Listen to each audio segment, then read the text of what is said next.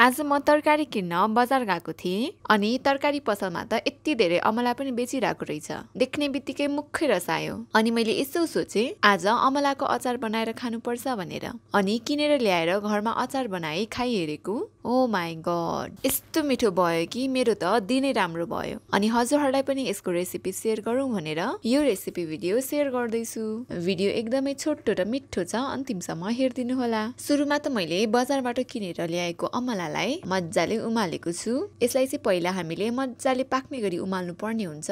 यसरी उमाल्नाले यसमा भएको फोहोर किटाणुहरू जानको लागि मद्दत गर्छ। हेर्नुहोस् त यतिको पाक्ने गरी। यतिको पकाइसकेपछि यसलाई निकालेर छानिदिनु होला। अब चाहिँ यसको मसलाको लागि एउटा फ्राई प्यानमा थोरै धनियाँको दाना थोरै जिराको दाना थोरै सर्स्युम र थोरै तिल राखेर मजाले भुटिदिनु होला यसलाई भुटिसकेपछि ब्लेन्ड गरेर राखिदिनु होला अब चाहिँ यसको मेन इन्ग्रिडियन्ट्स भनेको रातो खुर्सानी। यसलाई पनि एकचोटि थोरै तेल राखेर मजाले भुटेर निकालेर ब्लेन्ड गरिदिनु होला अब चाहिँ म अचार बनाउनतिर लाग्दैछु। एउटा कराई लिएर थोरै तेललाई हिट गरिदिनु होला त्यसै गरी एक चम्चा जिराको दाना पनि फुर्याए दुई चम्चा मिक्स मसला राखेर एकचोटि मजाले चलाइदिनु होला। त्यसै गरी दुई चम्चा चिनी र थोरै सक्खर राखेर यसलाई पनि एकचोटि मजाले चलाइदिनु होला। केही बेर मजाले चलाइसकेपछि यसमा चाहिँ थोरै बेसार राखिदिनु होला। त्यसै गरी भुटेको खुर्सानीको धुलो पनि राखिदिनु होला र यसलाई पनि एकचोटि मजाले पकाइदिनु होला। यतिको मसला पाकिसकेपछि यसमा जति पनि बोइल गरेको अमला छ सबै राखिदिनु होला र यसलाई पनि एकचोटि मजाले चलाउनु पर्ने हुन्छ।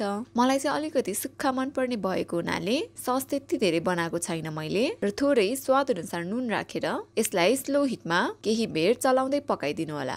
हेर्नुहोस् साथीहरू हाम्रो यो अमलाको अचार पनि लगभग तयार हुँदैछ। यसको ससहरू पनि बिस्तारै अमलामा कोट हुँदैछ। अन्तिममा चाहिँ मैले चाहिँ थोरै हिङ पनि राखेको छु र यसलाई पनि एकचोटि मजाले चलाइदिनु होला। त्यसपछि हाम्रो एकदमै मिठो अमलाको अचार पनि तयार हुन्छ। अमला चाहिँ हाम्रो हेल्थको लागि एकदमै फाइदाजनक हुने भएको हुनाले पनि हजुरहरूले पनि अमलाको अचार बनाएर खान सक्नुहुन्छ। हेर्नुहोस् त यो अमलाको अचार मलाई त हेर्दै खाउँ खाउँ लागिसक्यो। यसलाई चाहिँ हजुरहरूले बट्टामा राखेर लामो समयसम्म राखेर पनि खान सक्नुहुन्छ।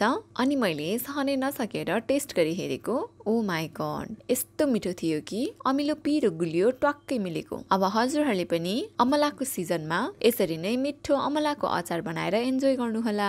हजुरहरूलाई कस्तो लाग्यो रेसिपी भिडियो प्लिज कमेन्ट पनि गरिदिनु होला साथै आफ्नो फ्रेन्ड्स र फ्यामिलीहरूसम्म पुग्ने गरी यो रेसिपी भिडियो सेयर पनि गरिदिनु होला अनि हजुरहरू यो पेजमा नयाँ हुनुहुन्छ भने सेयर सब्सक्राइब र फलो गर्न चाहिँ नबिर्सिनु होला है। Thank you for watching